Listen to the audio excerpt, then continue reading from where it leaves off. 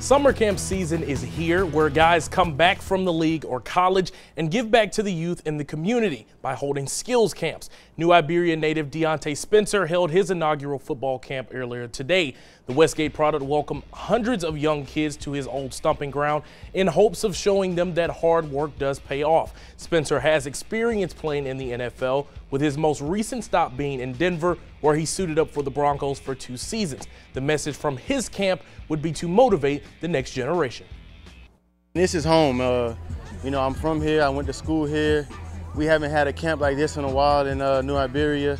Um, and just kind of just want to inspire the youth, man. That's, that's really what my goal was to do.